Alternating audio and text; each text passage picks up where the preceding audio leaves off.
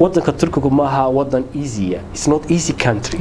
Xagga ha marka loo eego taariikhda wadan fudud maaha wadanka maraykanka mongolia hadduse wadan miskiina maanta maaha oo aan la aqoonba weeyi.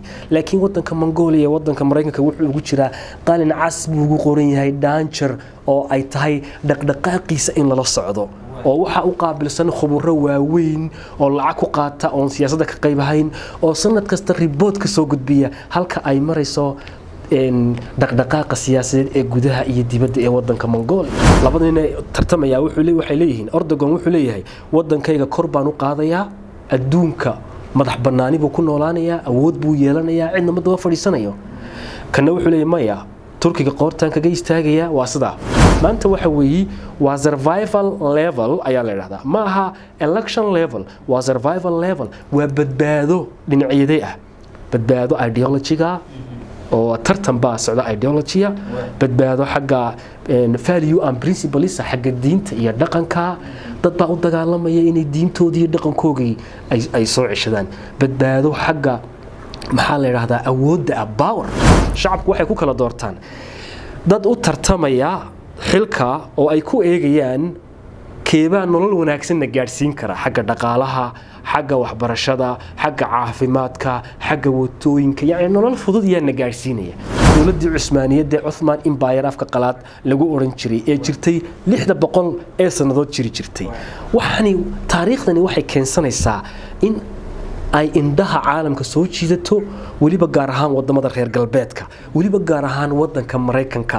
Oo wadanka maraykanka siyaasadaha uu isticmaalo waxaa ka mid a waxaa jira wadanka maraykanku waxa uu leeyahay wax loo yaqaano strategic core interest wax la buu leeyahay.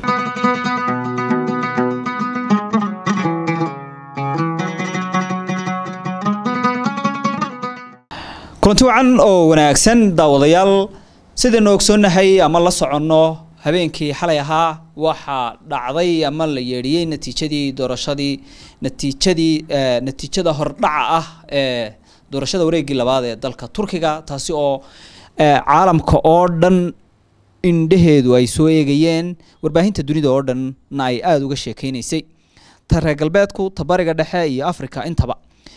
Waxaa haddaba stuudiyaha tv-ga c b a igula sugan bara sare eh, cabdinaasir xasan maxamed oo ah bara sare oo jaamacadaha dalka wax ka dhiga isla markaasna ka faallooda siyaasadda africa ama geeska africa iyo tabariga dhexe intaba cabdinaasir waxaan wax ka weydiin doonaa sababta doorashadan dalka. Turkigu ay xiisaha intan leeg u yeelatay indhaha caalamka oo dhanna sabab ay u noqotay inay ku soo jeestaan. Haddaba su'aasha ugu horeysa cabdinaasir weydiin doono isla markaasina aynu falanqeyn doono waa maxaa xiisaha intaa leeg u yeelay doorashada dalka turkiga indhaha caalamkana ku soo jeediyey? Cabdinaasir soo dhawow balka doorashada dalka turkigu ilaa wareegeedii labaad wareegeedii koowaad wuxuu dhacay afar iyo tobankii bishan aynu ku jirno ee hadda dhammaadka ah. Wareegeedii labaadna shalay oo sideed iyo labaatanka bisha ah ayuu dhacay. Erdogan ayaa mar kale guuleystay indhaha caalamka. Maxaa doorashada dalka turkiga ku soo jeediyey xiisaha inta lagu waa su'aal aada iyo aada u muhiima oo waxaad arkaysaa doorashadii turkiga ka dhacaysay oo ah doorashada ugu hadalhaynta badan le caalamka oo dhan ayay ayay noqonaysaa waxyaabaha ugu wacanna waxa weeyaan way badan yihiin waa ilaa toddoba laakiin saddex ama afar baan ka taataaban karaa Een, waa ta koobaadee waxani waxa weeyaan waxay leedahay laba weji bay leedahay. Waa weji la yidhaahdo waa visible iyo mid invisible ah. Waa mid muuqda iyo mid aan muuqanin. Wejiga muuqda waxa weeyaan waa wejiga eh, doorashada ah. Laakiin weji qarsoon baa jira oo laakiin ay arki karaan dadka qaar oo aqoon-yahanka oo keliya arki karaan. Wejigaasi waxa weeye doorashadani maaha doorasho waa dagaal waa war weeyaan. Mabaadii ha mabaadi baa lagu dagaalamaya. Marka dagaalkani waa dagaaladii dhex mari jiray xadaaradda da- muslimka eh, islamic civilization iyo christian civilization d- ee dhex mari jiray. Ilaa xilligii waxa weeyaan dee dowladihii xataa ka horreeyey cuthman imbayarka ka horreeyey ee, romaanka iyo islaamka dhex mari jiray weeyaan waa isbedelay Sax. oo kale yeeshay. xadaaradihii kristanku ay ka tegeen diintii iyagoo ku lug leh haddana ay ka tegeen oo ay qaateen ideologies ayay qaateen oo ay ka mid yihiin liberal democracy capitalism waxa loo yaqaano colonialism ayay qaateen iyo islaamkii oo aan isbedelin oo aan doonaynin inuu isbedelo marka waa dagaal u dhexeeya labadaa dhinac. Marka wuxuu ka bilaabmay gudaha dalka turkiga wuxuu ka bilaabmay isagoo dibaddana dagaalkaasi kaga socdo wuxuu gudaha turkiga ka bilaabmay kii kadib markii wadanka faransiiska kabacdi uu ka soo baxay ninkii la odhan jiray napoleon bonaparte ee waxa weeyaan keenay dee maanta nidaamka yurub ay u nooshahay. Ee yurub ka soo raray traditionalka ee u soo raray mabda'a liberaalka iyo dimuqrasiga iyo waxan ay maanta ay isticmaalaan. Markaasaa lagu beeray turkigana dhalin kacdoon kacdoon yaan odhan movement dhaqdhaqaaq dhallinyaro oo loo yaqaano young turkey loo yaqaano ayaa laga sameeyey waa kun iyo sideed boqol iyo lixdankii weeyaan dagaalkaas oo dibadda iyo gudahaba ka socday waxaa lagu labaiyo labaatankii markii dowladdii cusmaaniyadda ay dhacday ee la baabiiyey labaatankii wixii ka dambeeyey ilaa maanta oo la taagan yahay labaatankii turkigu waxa uu halgamayey dadka turkiga waxay u halgamayeen soo cesashada inay la soo noqdaan dadnimadoodii iyo sharaftoodii iyo diintoodii iyo dhaqankoogii ayay ayay u halgamayeen. Sida ay ugu halgamayaan ayaa dadkii riday cusmaaniyadda dowladda cusmaaniyadda iyo turkiga baabiiyey iyaguna waxay u halgamayeen in ay ka adkaadaan. Marka waa dagaal labadaas u dhexeeya. Marka dagaalkani wuxuu u dhexeeyaa waxa loo yaqaano localized policies iyo externalized policies. Waa siyaasado dibadda ah iyo oo gudaha lagu dhex abuuray iyo kuwo gudaha ka shidaal qaata. Markaa siyaasadahan la yidhaahdo markaa externalized policieska waa kuwo salka ku haya mabaadi'da loo yaqaano liberaalka loo yaqaano. Oo democracy maaha waa liberaalka loo yaqaano. Oo liberal values and principles oo macnaheegu yahay in laga takhaluso waxa loo yaqaano diin iyo iyo dhaqan. Waxa kaloo iyo wuxuu u dhexeeyaa qoladaas iyo wuxuu u dhexeeyaa qoladan internalized policies. Qolada leh annagu waxaan nahay turkey waxaan noqonaynaa dal awood weyn waxaan noqonaynaa dal ka madax bannaan yurub iyo oo isku filan baan noqonaynaa. Dal dadkii diintiisa iyo dhaqankiisa ilaashadaan noqonaynaa leh. Labada policy ayuu dagaalkani ayuu u dhexeeyaa.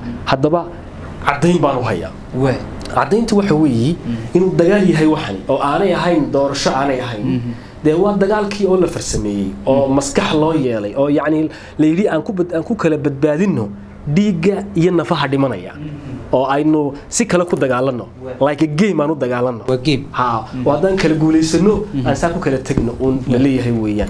Caddaymaha markuu dagaalka ahaa baan kuu sheegaya kun iyo sagaal boqol labaiyo labaatankii markii turkiga la baabiiyey cusmaaniyadda la baabiiyey sorry mustafa kamaal markuu xilka qabsaday waxyaabihii uu sameeyey maxaa ka mid ahaa? Waxaa ka mid ahaa markiiba mabda'a liberaalka oo aan liberaal saxa ahayn laakiin liberaal laba wajiilo ah ayaa lagu soo rogay wadanka turkiga lagu soo rogay. Oo ay ka mid tahay in laga sarraysiiyey secularismka nidaamkii shareeca low ee islaamka ahaa la isku xukumayey iyo diintii maxaa laga sarraysiiyey secularismka laga sarraysiiyey marka waxaa la sameeyey oo kale dadkii muslimka ahaa ayaa xuquuqdoodii la duudsiiyey hablaha xijaabkaa loo diiday ragga koofiyadii ay xidhan jireen xagga islaamka loo diiday. Waxa weeyaan aadaankiibaa translation loo sameeyey. Afturki ha lagu eedaamo. Macal ha lagu eedaamo afturki ha lagu eedaamo la yidhi. Waxaa la sameeyey dimuqraadiyadii baa meesha laga saaray oo la baabiiyey gebigeediiba la baabiiyey waxaa la mamnuucay luqadii carabiga la mamnuucay. Reason loo mamnuucaana may jirin waxayd xoogu sheegasho ayay ahayd. Marka tusaalayaasha dhabta ee dhacay waxaa ka mid ahaa markii turkiga uu dhaqaaqay dhinaca dimuqraadiyadda ee ay isiraahdeen dadka kolkawaydun engineering social engineering baad ku samayseen ay isiraahdeen ee dimuqraadiyad loo dhaqaaqay waxay ogaadeen dimuqraadiyaddu in ay keenayso in ay dadka turkigu la soo noqdaan diintoodii iyo dhaqankoogii iyo wixii aaminsanaayeen. Markaa waa kii la doortay ninkii la odhan jiray cadnaan madras ayaa la doortay iyo kontonkii qiyaastii la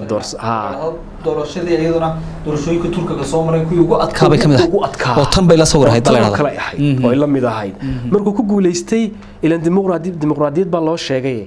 Wuxuu sameeyey aadaankiibuu soo celiyey masaajidadii la xidhay buu u furay xijaabkiibuu dumarka u daayey dad ragga garhka la baxa baa layidhi wax kastaad samayn kartaan qof kastaa diintiisa waa u xor ayaa la yidhi.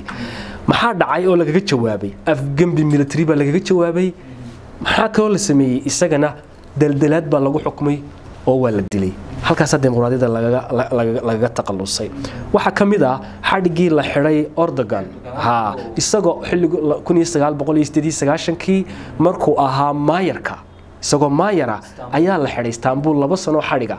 Ayaa loo dira ayagoo markaa ay ku sababeen gabay diinta la tacalluq u akhriyay ha la tacalluq u akhriyay oo in la soo celiyo shacairtii diinta iyo islaamka lagu dhaqmo. Waka ayaa gabay u dhigma bay dhigma saas oo kale ayaa laga uriyey marka yacni waxaa laga uriyey soo noqoshada turkigii hore iyo cusmaaniyaddii wax la xidhiidho oo kale ayaa laga uriyey waxaa la mida iyaduna doorashadii baarlamaanka uu ku guuleystay xisbiga a k p ee ordogon uu ku guuleystay saddex daloolow hal dalool wadanka turkiga ayuu ku guuleystay iyadna waa la laalay because caqlabiyad weyn ayuu helay oo meesha waa laga saaray. Ayaa ka mid ah se loola dagaalamayo waxaa ka mid ah markuu labadii kun iyo labadii wixii ka dambeeyey uu xukunka qabtay kubiskii ama ama ama afgembiyadii laysku dayey ee kii ugu dambeeyey muxuu ahaayey uu ahaa 2020gii aan malaynaya uu ahaa ayaa ayaa ayaa ka mid ahaa. Marka it's not ma aha ma aha election ma aha. Waxa weeye waa dagaal u dhexeeya oo electionku wuxuu waxa lagu doortaa dadka waxa lagu kala doortaa shacabku waxay ku kala doortaan. Dad u tartamaya xilka oo ay ku eegayaan keebaa nolol wanaagsanna gaadhsiin kara xagga dhaqaalaha xagga waxbarashada xagga caafimaadka xagga waddooyinka yacni nolol fudud yaana gaadhsiinaya. Maanta taa ma aha. Maanta waxa weeye waa survival level ayaa la idhahdaa ma aha election level waa survival level. Waa badbaado dhinacyaday ah. Badbaado ideologiga oo tartan baa socda ideologia badbaado xagga value and principles xagga diinta iyo dhaqanka dad baa u dagaalamaya inay diintoodii dhaqankoogii ay soo ceshadaan. Badbaado xagga maxaa la yidhahdaa awoodda ah power oo turkigu wuxuu leeyahay labada nin tartamaya waxay leeyihiin ordogon wuxuu leeyahay wadankayga kor baan u qaadayaa adduunka madax bannaani buu ku noolaanayaa awood buu yeelanayaa cidna ma fadhiisanayo. Kana wuxuu leeyahay maya turkiga qoortaan kaga istaagaya waa sidaa waxaan hoos geynayaa reer galbeedka westernkan hoos geynaya yurub lagama jari karo. yurub lagama jari karo. Wadan basifa oo miskiinu noqonaya waa sidaa de translationka hoose waa sidaa marka waa qodobka koowaad marka waa qodobka oo waa dagaal. Qodobka labaad waxa weeye ee doorashada wadanka turkiga indhaha caalamka ku soo jeediyey ku soo jeediyey wadanka turkigu maaha wadan easya it's not easy country.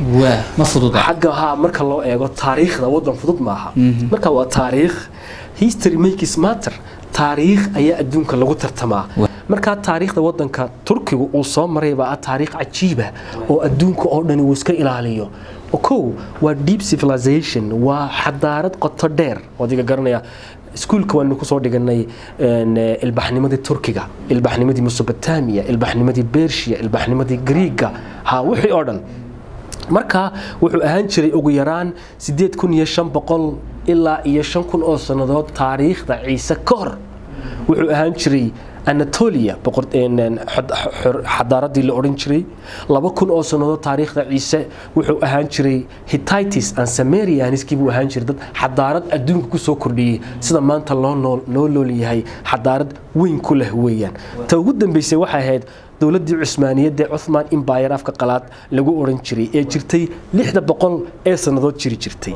Waxani taariikhdani waxay keensanaysaa in ay indhaha caalamka soo jiidato weliba gaar ahaan waddamada reer galbeedka weliba gaar ahaan wadanka maraykanka.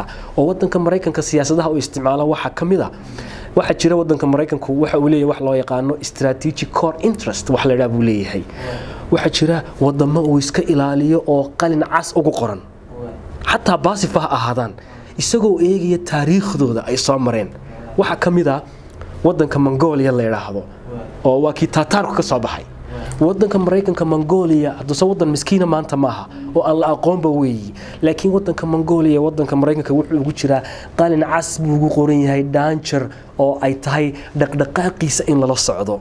Oo waxaa u qaabilsan khuburo waaweyn oo lacag ku qaata oon siyaasadda ka qayb ahayn oo sanad kasta ribood ka soo gudbiya halka ay marayso dhaqdhaqaaqa siyaasadeed ee gudaha iyo dibadda ee wadanka mongolia. Sidoo kale wadamadu iska ilaaliya waxaa ka mida wadanka maraykanku jaban ayaa ka mida waxaa ka mida china waxaa ka mida jarmalka ood ogeyd dagaalkii labaad iyo kii koowaad ee adduunka. Waxaa ka mida russia oo isna xadaarad weyn oo fog ahayd. Waxaa ka mida etoobiya laftigeedu iyaduna waxay ugu qoran tahay khad cas bay ugu qoran tahay wadanka inaanay madaxa la kicin khad cas bay ugu qoran tahay. Waa wadamo maanta qaarkood masaakiin yihiin laakiin leh wax loo yaqaano self preservation yacni dareen taariikheed oo hore iyo dadnimo iyo raganimo iyo cisi iyo sharaf iyo karaamo iyo waxay lahaan jireen. Isla markaana leh capability qarsoon oo ay mar uun la soo bixi karaan. Marka arinka ugu weyn ee aan kugu sheegi kara xiisaha leh waxa weeye maxaa keenay boqortooyo islaamiya oo jirtay lix boqol oo sannadood? Oo cuthman imbayar la odhan jiray in xilli yar gudahood lagu dumiyo oo markaaba secular lagu qasbo. Cabsida laga qabo ayaa ahayd mid aad iyo aad u weyn. Marka waxay keensatay markaa dagaalkii dibadda kaga socday iyo kii gudaha kaga socday ee lagu baabiiyey qolada cumaani cuthman imbayar lagu baabiiyey waxay keensatay in ay muhiim noqoto maanta turkiga in loo dhagataago oo loo hanqal taago oo qiimo weyn yeelato. Huwinis yaa guulaysanaya ka guulaysanayaa ahmiyad weyn buu leeyahay. Marka waa laba waxaana ahmiyad u leedahay. Ortagan hadduu guulaysto waxay ahmiyad u leedahay islaamka iyo rajadiisa waddamada muslimiinta iyo waddamada loo yaqaano anti western domination. Wadamada ka horjeeda in ay waddamada reer galbeedku shiiqiyaan adduunyada oo ay gumaystaan. Wadamadaas ay ka mid yihiin iiraan afghanistan oo imika deedna ku soo noqotay awoodeedii yani awooddii localka ahayd qabsatay. Iiraan oo islaamiya og tahay palestine oo maanta la gumaysto rajadeedu waxay ku xidhan tahay ordogan inuu soo noqdo. Syria rajadeedu ordogan bay ku xidhan tahay. Qatar oo aada ogeyd sida uu ugu gargaaray way ku xidhan tahay. Wadamadaas iyo kuwa lamida soomaaliya oo aan la rabin inay soo noqoto iyada laftigeega iyo geeska africa turkigu waad og tahay siduu u caawiyey. Marka waxa ay markaa ahmiyad u sameynaysaa qolada. Dhinaca kale inuu guulaysto kamaal waxay ahmiyad u samaynaysaa waddamada reer galbeedka ay iyadana ahmiyad weyn ay u samaynaysaa. In mabdaoodii ka shaqeeyo. Uu mabdaoogii shaqeeyo oo ah mabda'aasoo ah in la tirtiro islaamka isla markaana inuu xoog weynaado mabdaca reer galbeedku isla markaana waddamada muslimiinta inay weligood ku hoos jiraan oo ducafo ahaadaan waddamada reer galbeedka ay ku hoos jiraan oo resourcekooga la iska gurto oo badahooga la isticmaalo oo had iyo goor dowlado wiig ah oo daciif ah oo dabadhilif ah lagu dul ilaaliyo. Qodobka saddexaada turkiga keenaya in indhaha lagu soo jeediyo waxa weeyaan waan soo koobi waa geostrategic position oo ay ka mid tahay turkigu wuxuu isku xidhaa aasiya iyo yurub buu isku xidhaa. Xagga tradeka xagga diplomatic relationska xagga trafalka ee isku socodka. Waxa kale oo weeyaan turkigu waa wadanka ugu weyn waa major distributor of energies xagga enerjiga iyo tamarta shidaalka iyo gaaska ee wadanka yurub geeya oo dee dhuumaha ka soo qaada shidaalka iyo gaaska waddamada aasiya iyo bariga dhexe ka soo qaada ee yurub geynaya isaga isaga ayay maraan. Waxa kaloo uu turkigu muhiim u yahay waxa loo yaqaano international policyga u dhexeeya waddamada islaamka iyo waddamada reer galbeedka oo dhinac wuxuu kaga jiraa nato ayuu kaga jiraa oo dhaqankii reer galbeedku garanaya dhinacna waxa uu kaga jiraa islaamka. Ha g buu ku jiraa dhinac islaamkii buu kaga jiraa. Dhinac dhaqankii aasiyuu ka leeyahay. Marka waa oday yacni siyaasadeed oo loo daba fadhiisto siyaasad dejinta siyaasadaha caalamka loo daba fadhiisto. Oo iminka haddii la rabo isil in la macneeyo isis daacish oo kale turkiga ayaa khubur ayaa khabiir ayaa khabiir ku ah. Marka waxa kaloo muhiima badda black seaga ayaa isaguna u maamulaa. Oo labada marin ee ka yimaada mediterranean ka yimaada badda black seaga ka yimaada si loo tago mediterranean seaga. Laba marinoo waaweyn oo mara baa jira oo loo yaqaano mid waxaa la yidhahdaa porpros baa la yidhaahdaa midna waxaa la yidhaahdaa midna waxaa la yidhaahdaa dardanles baa la yidhaahdaa. Marka labadanba turkiga dhex maraan. Marka markaad ka imanayso black seaga ee doonaysa inaad marmara sii tegto turkigaad soo dhex maraysaayoo istanbul baad soo dhex maraysaa oo marinkaasaad soo maraysaa. Markaad doonayso inaad marmara sii ka tegto agian seaga tegto waxaad dhex maraysaa turkigaad dhex maraysaa oo waxaad dhex maraysaa marinkan loo yaqaano waxa loo yaqaano dardanles loo yaqaano dhex maraysaa. Si aad u isticmaasho oo yurub ay u isticmaalaan waxa loo yaqaano mediterranean seaga oo iminka ruushka oo kale ma isticmaali karo mediterranean seaga ilaa halkan uu soo maro. Marka haa marka wadanka turkigu wadan fudud ma aha. Aad baad mahadsan tahay cabdinaasirow haddaynu eegno taa in dowladdii cusmaaniyiintoo kale soo noqoto ayay reer galbeedku la dagaalamayaan saad xustay. Aad iyo aad bal dowladda cusmaaniyiintu lafteedu oo lixda boqol ee sano jirtay oo awoodda lahayd oo dalal badan saameyn ku lahayd ama xukumaysay. Sida berberadan oo kale xadaaradeedu ka muuqato. Bal ayada dowladda cusmaaniyiintu hadday dib u noqon. Intay awoodeeda leegay intay dalood bay maamuleysay. Very good. Daa su'aal weyn weeyaan aada iga qiiraysiisay kun sagaal boqo kun iyo sideed boqol iyo lixdankii xilligan aan kuu sheegayo wadanka dalka cusmaaniyadda la yidhaahdaa wuxuu ahaa wuxuu ahaa the only great power the only great power in the world. Wadanka ugu awooda weyn leh adduunyada ayay ahayd. Sida maanta maraykanka oo kale uu u yahay wadanka dunida maraykankan maanta sii galbanaya. Sida uu maanta u yahay wadanka dunida ugu awooda weyn leh. Ee maanta siyaasadda adduunka waxaa la yidhahdaa waxaa la odhan jiray unipolar system. Wadan wadanka adduunye wadanka maraykanku ka taliyo. Sidaasoo kale waxay ahayd duni ay ka taliso dowladda cusmaaniyaddu oo cid kasta ay farta ugu yeedho. Laakiin aanay cidna sida la sheegayo way ka cadaalad badnayd sida maanta adduunku uu ahaa. Islaam ahayd oo islaamka ku dhaqmaysa ahayd marka waxay xukumi jirtay ilaa waqooyiga africa iyay xukumi jirtay. Ilaa iyo yurub galbeedkeeda iyo yurub berigeeda ilaa iyo aasiya ilaa iyo bariga dhexe waa boqortooyo waxa weeyaan ilaa afrika xukumaysa. Oo meesha ka saartay boqortooyadii loo yaqaanay roman empire. Tii constantinople iyo la odhan jiray labadiiba meesha ka saartay. Markaa reer galbeedku markay boqortooyadii baaba'day waxay ku talagaleen ee ku dhisnayd diinta ay ka adkaadeen ay kala tegtegeen in ay baabi'iyaan islaamkan urursan ee meel kasta qabsada inay baabi'iyaan. Waanay ku guulaysteen waxaana loo dhex maray baabiinteeda waddamada carabta waxaana laga bilaabay baabiinteeda wadanka sacuudi arabiya waxaa laga bilaabay maka iyo madiina laga bilaabay. Carabtaa lagu diray oo layidhi ma idinka oo carab ah oo nasab ah oo asal ah oo nebi maxamed idinka soo jeedo oo xaramkii idinku yeelo makiya madiina ay idinku taallo ayaa maanta turki aad diinta gaadhsiiseen idin gumaysanaya. Mana gumaysanaynin laakiin way ku dirayeen. Haddii aad turki ka taqalustaan oo annaga aadna soo raacdaan faransiis iyo ingiriis haddaan nahay waxaan idin siin doonaa wadan xora oo great arabian countrya. Sidaasoo xisbigii bacadka la odhan jiray mu ahayn xisbi raadiya carab weyne raadiya. Sida soomaaliweyn oo kale. Midnimada carabta. Raadiya. Midnimo carabeed baa idin siinaa wadan caraba idin siinanaa turkigan xun waa idinka dhex saaraynaa marka sida lagu leeyahay already waa la sii qaybsadayba ciraaq suuriya masar sacuudi arabiya jordan yaman iyo sida loo kala leeyahayba waa la kala qaybsaday. markii ay iska rideenna ayarun baa layidhi de ayaad la hadlaysaan waa idin sidee. Annagaa idin haynana dee weli. Soo tacab iyo maydan gelin maal iyo tamar maydaanan gelinin. Ilaa maantana sidii ayaa loo haystaa. Marka dowladda cuhmaaniyaddu waxay ahayd dowlad xagga sayniska kuleh taariikh weyn ku leh tiknolojiyadda iyo hubka casriga taariikh weyn ku leh xagga international relationska taariikh weyn ku leh xagga cilmiga diblomaasiyadda taariikh weyn ku leh xagga waxa loo yaqaano tradeka taariikh weyn ku leh. Dhan walba ka taariikh weyn ku leh oo contribution weyn ku leh xadaaradda maanta adduunka uu ku nool yahay. Ayay ahayd wadanka cuthman wagaag turkigu imanka sida natiijada hordhaca xalayto ilaa saa ka soo baxaysa erdogan ayaa mar kale guuleystay. Maxaa laga baran karaa doorashada turkiga? Waa good question. Waa su'aal wanaagsan.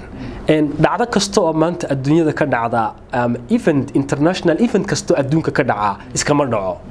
Laba arrimood buu leeyahay. Wax keenina uu leeyahay. Casharna waa laga bartaa. Adduunyaduna cashar bay ka barataa dadka aan cashar ka baran dhacdooyinka adduunka iyo taariikhdu waa inaga oo soomaali ah oo taaganba oo mar walba ku noqnoqdoon wixii ay soo mareen. Mar walba dooxii ay degeen ee daadku ku qaaday. Ay ka kala yaaceen ay banaanka ka tegeen qaarna uu qaaday qaarna uu laayay ayaa markuu qaado ismaydaan meel kala degee meeshii bay ku soo noqdaan. Marka waxaa laga baran karaa kow. Isku dulqaadashada fikradaha kala duwan waxaa loo yaqaano tolerance of different thoughts and ideas in wadan lagu wada noolaan karo inaga oo kala fikrada duwan. Fikradaha turkiga ka socda maanta way kala duwan yihiin. Waxa weeye mid wuxuu leeyahay waxaan idin geynayaa western baa idinka dhigayaa niyahow. Dumarka banaankan u soo saarayaa. Waxaan ordagan uu diiday ee ah. Dumarku markay soo cadhoodaan raggooga ka soo dudaan. Isku dirka ragga iyo dumarka ee uu diiday gurya u same ee uu diiday lesbiyaanka iyo gaayga uu diiday waxaan oo dhan baan anigu idin fasaxayaa. Yurubna waa idin hoosgeynayaa islaamka waxaa la yidhaahda meeshaan ka saaraynaa ma wax ka xun baa jira ka fog baa jira. Tatarka uga saartoo kale ayaan ka saaraynaa mabda caynkaasa iyo mid lamay waa laba fikradooda kala duwan. Waxay la mid tahay kalena waxyaabaha aaminsan yihiin waa la ixtiraamaya. Waa la dalku wada noolaado. U wada noolaado. Waa somalilan oo la yidhi weliba way ka fog tahay taasi. La yidhi ha laga sameeyo xisbi soomaaliyan idin geynayaa leh. Iyo xisbile somalilan baan nahay. Inay ku wada noolaan karaan oo kale taasi waaba siyaasad.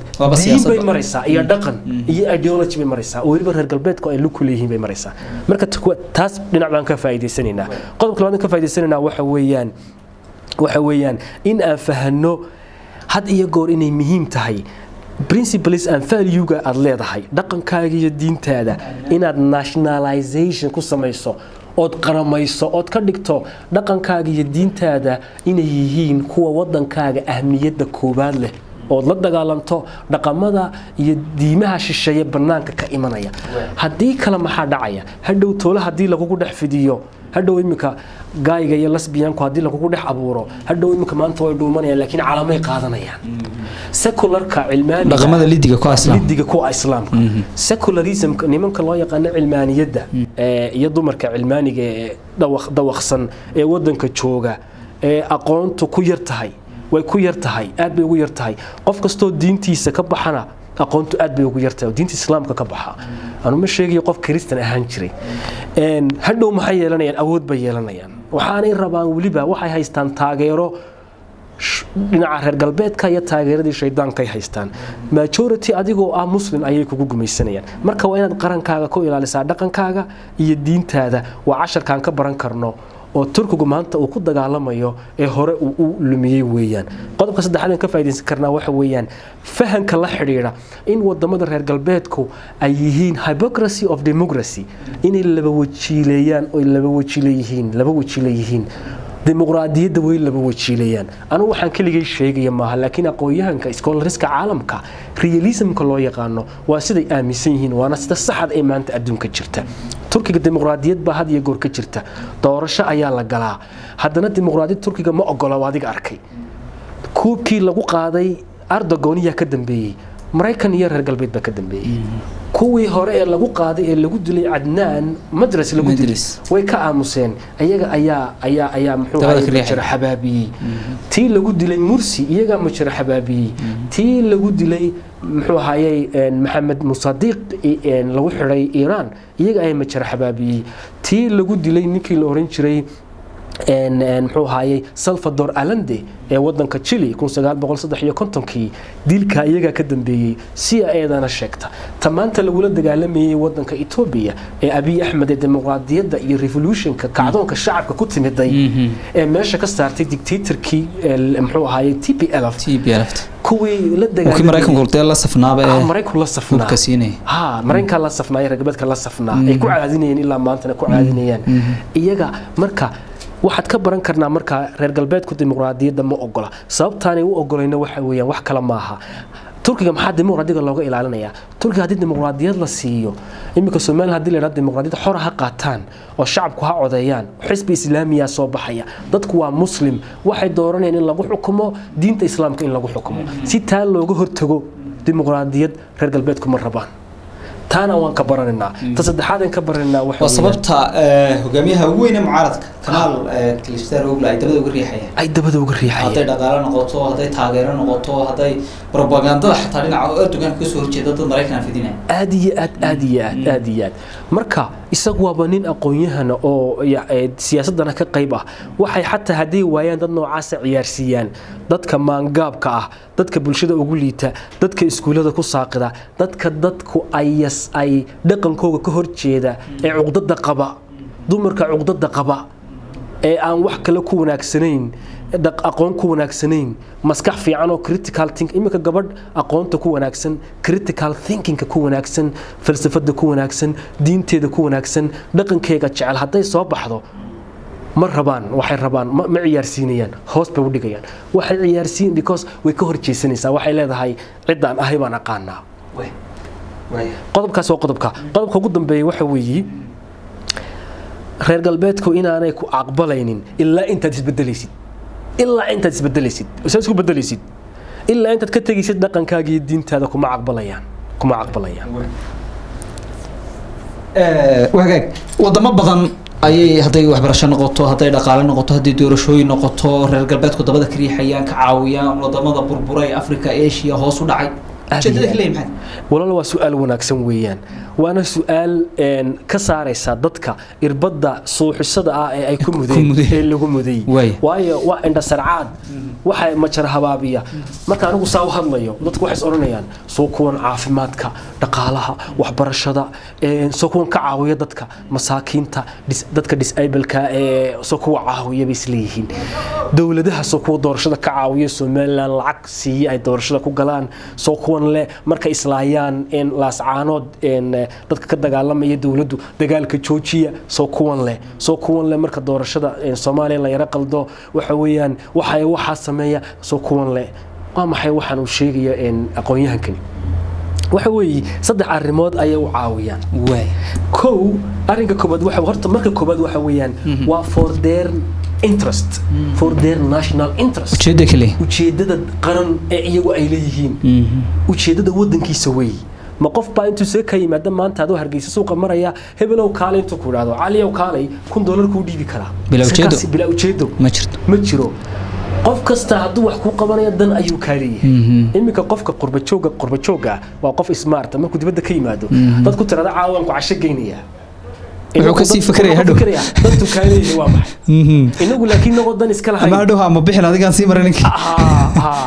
marka iyagu maxay saa ugu fikirayaan? Meeshay ku nool yihiin ayaa caynkaasa. Inagu laakiin waan ka duwanoo collective baana waxa laga yaabaa walaalnimo muslimnimo jacayl Diintiyo wada sheekaysi, diin. Inaad isku aan u ka laga yaaba haa marka dan ay kaala yihiin horta kow waa dan ay kaala yihiin oo saddex danooda weeyaan. Saddex baa ka mid ah. Kow waxaa loo yaqaano hadduu wadanku burburo iyaga dhibaatay u tahay hadduu wada burburo. Innaga soomaaliyoo kale waxay noo caawiyaan waxa loo yaqaano counterparacy burcadbadeedda markay ina daayeen ay nagu eegeen burburkii dhibaatadii ay kala qaybintii. markay gaadhsiiyeen ay nagu eegeen. Sida loo sii wada baa odhanaya. Waxa soo baxay. Waxay rabeen inaad saas ka ahaato weligaaba deetana hadhowna dhan soomaalidu ma maamuli karto. Ee hala xukumo. Oo badhna etoobiya loo dhiibo badna kenya loo dhiibo. Ayay doonayeen. Laakiin waxa dhacday waxa soo baxay burcadbadeed nabad bay ku mari kari waayeen. Badihii ku mari kari waayeen maraakiibtooda la afduubtay Waxa welibana kaloo waa badaa soomaalida la yidhaha sharci darray ku marayeen Sharci ama darray ku marayeen. qashin bay ku qubayeen ama qashin kalluun bay ku guranayeen qubeen. aad iyo aad oo oo iyaga lafti kalluuma sharci darray uga kalluumaysanayeen kii miskiinka ahaa doonta yar haysteen soomaaliga ahaa ama somalilandarka ay kalluumaysanayena cagtay mariyeen Mm, waaba ujeedooyinka lagu baabiyey khayraadkaaga lagu baabiiyey weeyaan Een, marka taas in ay siday doonaan u maraan inay dowladda ciifa dhigaan siday doonaan uga kalluumaystaan waxay doonaanna ay xukuumad yar ay wada shaqaystaan oo kale inay meesha ka dhigaan. Marka een, waxa ka mid a waxa loo yaqaano ta ugu muhiimsani waxa weeye counter tourism waxay u yaqaanaan. La dagaalanka argagixisada oo macnaha dhabtii aanu ka ahayne laakiin uu yahay la dagaalanka dhaqdhaqaaqa islaamka dhaqdhaqaaqa islaamka. Tusaale ahaan oo kale dowlad islaamiga ka soo baxdo iminka haddii somaliland dagaal ka dhaco oo ay burburto ilaahu ha burburinne oo cimrigeena dheere nabadgelyadeena iyo dadnimadeenna hadday burburto waxay isleeyihiin tusaale ka soo qaad muqdisho ama koonfurta berigii. Markii dowladdu burburtay waxaa bilaabmay wax loo yaqaano warlord hogaamiye kooxeed ayaa bilaabmay. Nin waliba daantiisa xukumayo. Raalli bay ka ahaayeen hogaamiye kooxeedkii wuxuu sugi waayey ammaanka iyo nolosha dadka ayuu sugi kari waayey. Maxkamaduu samayn kari waayey. Maxaakiim baa samaysantay marka bulshadu waxay samaysteen maxaakiim ayay samaysteen. Xaafad kastaa maxkamad bay samaysatay islaamiya oo u cadaalad soorta. Markii dambena maxaakiimtiibaa awood yeeshay way midoobeen. Deetana waxaa la yidhi ayaga indhex galo. Waar waxani waa maxay? baa la yidhi. Qoladii ahayd hogaamiye kooxeedka ee dadka aan nolol u haynin ayaa la yidhi qoladan wax ka qabta baa la yidhi. Lacagna waa la siiyey la dagaalama baa la yidhi. Waa tii loo bixiyey ashahaadala dirirka. Labadii kun iyo shantii ashahaadala dirir baa loo bixiyey. Dagaal baa ka dhex dhacay. Maadaama maxaakiimtu ay ka yimaadeen xididka bulshada oo ay ka shaqaynayaan danaha dadka ay ka shaqaynayaan kalsoonina ay jirto dhaqanka iyo diinta u ilaalinayaan iyo fahliyow dadka muslimka ay u ilaalinayaan. Taageero weyn bay heleen wayna ka adkaadeen caqiidna way ku dagaalamayaan waa kuwii baxsaday hogaamiye kooxeedkii. Waa kuwii xoreeyey. Mar allaala markay xoreeyeen ayaa waxaa laga cabsaday in dowlad islaamiyo xoog weyne ay ka soo baxdo. Markiiba maxaa lagu fasaxay? Markiiba horta iyagaa la dhexgeliyey sirdoon afqallooca marka waxay rabeen marka waa laga saaray maxaakiimtii meeshii dowlad baa lagu bedelay dowlad ay iyagu naas nuujiyaan. Maxay u tababarayaan? Waay maxaad lacagta uga bixinaysaa tababar inaad tababarto maxaad waxbarasho ii siinaysaa? maxaad dowladda u taageeraysaa? Waay maxaad ku hore u taageeri weyda waa dan ay kaliin because tana u nugul. Qodobka dambe waxa weeye ay u taageeraan dadka inay maintain gareeyaan dominationkooga joogteeyaan in ay dominant ku sii ahaadaan shayqiyaan dadkan oy maamulaan. Marka waxay ku kasbanayaan kalsooni bay ku kasbadaan. Si ay kuula sii joogaan si ay kuu maamulaan si aad u caqbasho ayay rabaan waayahay aada baad mahadsan tahay dalka turkiga imika meeluhu saameynta ku leeyu caawiyo. Waxaa ka mid ah hadduu ciidamo u tababarayo hadduu cisbitaallo ka caawinayo si uu reer galbeedka laftiisa meesha uga saaro. Soomaaliya oo kale imanka ka mida dalalka afrika qaar ka mida ku jira. Dib buu guulaystay erdogan muxuu tallaabooyinka ugu muhiimsan u qaadi karo ee uu ayaga laftooda dalal badan kaga saari karo? Waxa weeye laba arrimood buu sii wadayaa. Kow waxyaabaha turkiga lagula dagaalamaya horta waa leadershipkiisa.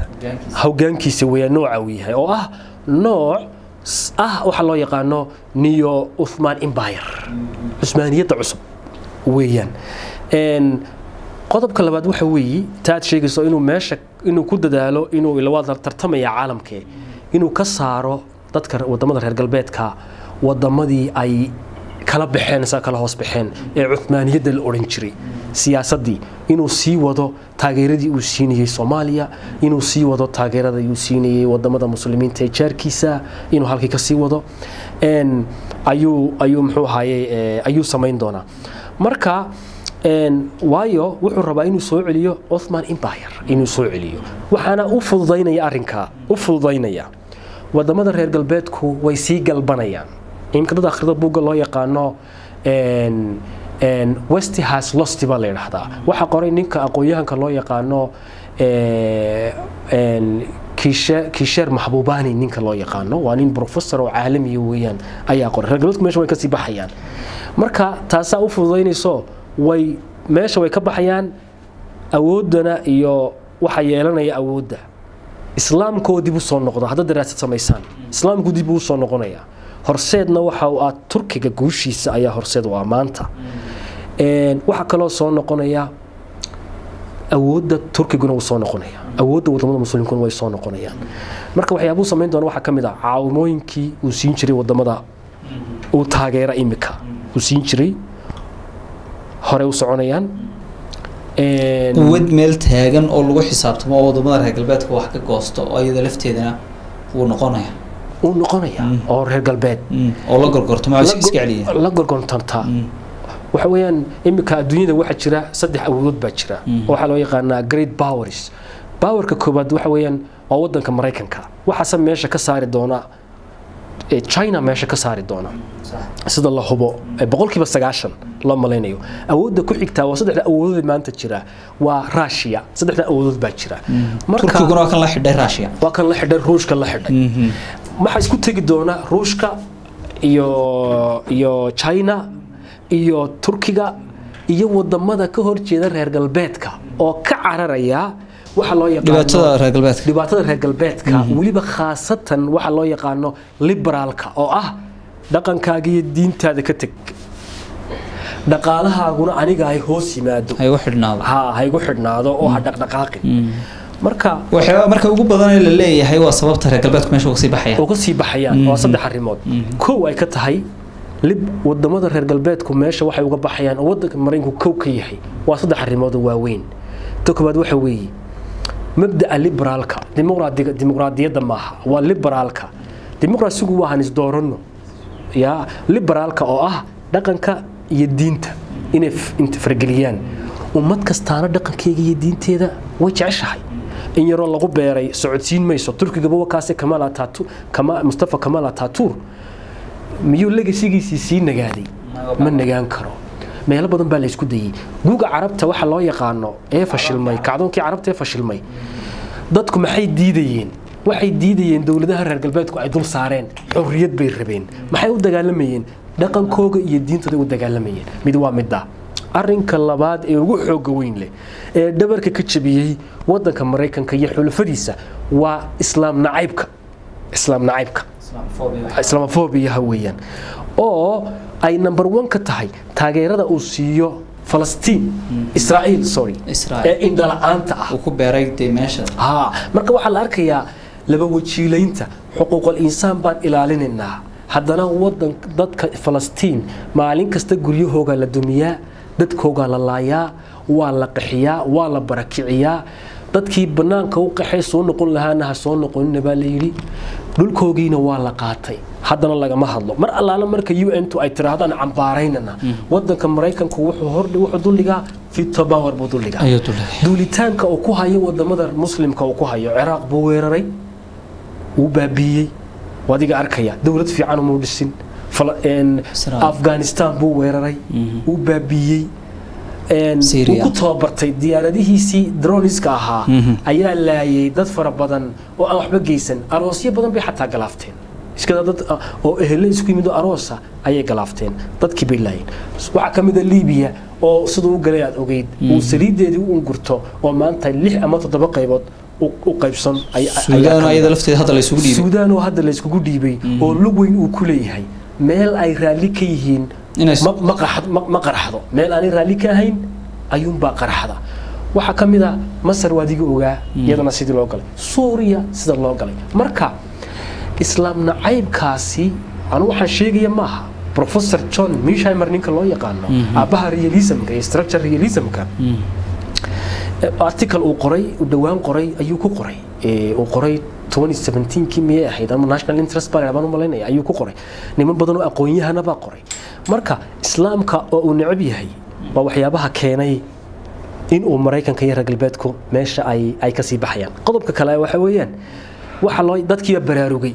Marka wixii loo yaqaanay ha revolution baa jira. Baraarug dadka ah baa jira. Intaasi waxaa ku eeg waraysigii gaarka ahaa cabdinaasir xasan maxamed oo ah khabiir ka faallooda siyaasadda bariga dhexe ama geeska africa iyo bariga dhexe intaba. Bara sarena ka ah jaamacadaha hargeysa ku yaalla ama somalilan jaamacadaha ku yaalla qaarkood. Anigoo cali fahda ayaa idinla socodsiinayay kamaradii ayaanle iyo farsamadii cabdirasaaq. Intaan ku kulmayno barnaamijyo kale nabadgelyo